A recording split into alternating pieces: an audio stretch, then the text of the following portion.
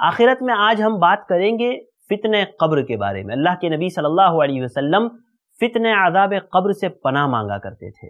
यहाँ पर हाफिज इबन हजर असकलानी रहीमहुल्लाह फरमाते हैं, फितने कब्र से मुराद दो फरिश्तों का सवाल करना है। और इसी तरह अल्लामा मुबारक पूरी रहीमहुल्लाह कहते हैं कि फितने कब्र से मुराद फरिश्तों को जवाब देने में जो हैरानी, जो तकलीफ़, जो परेशानी होगी, वो मुराद है। लिहाजा फितने कब्र से पनाह मांगना चाहिए। अब रहा सवाल ये कि कब्र में कौन से सवालात होंगे?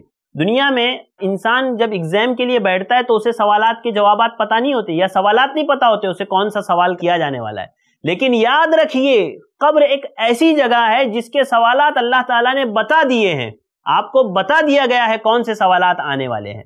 हज़रत बरा बिन आजिब रज़ी अल्लाह तु की रिवायत है कि हम अल्लाह के नबी सल्लल्लाहु अलैहि वसल्लम के साथ एक अंसारी साहबी के जनाजे में गए।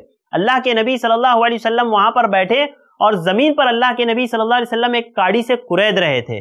उसके बाद आपने फरमाया कि जब बंदा मर जाता है, उसका इंतकाल हो जाता है तो उसके पास दो फरिश्ते आते हैं और उससे कुछ सवालात करते हैं। वो सवालात इंशाला जब अगला आखिरत वाला क्लिप आएगा इनशाला उसमें मैं आपको बताऊँगा। तो आप कंटिन्यू हमारे साथ जुड़े रहें ताकि आपको इसका फ़ायदा मिलता रहे।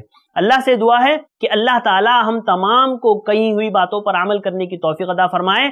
अल्लाह जब तक हमें ज़िंदा रखे, इस्लाम पर ज़िंदा रखे, जब भी हमारा खातिमा हो, खातिमा बिल खैर हो।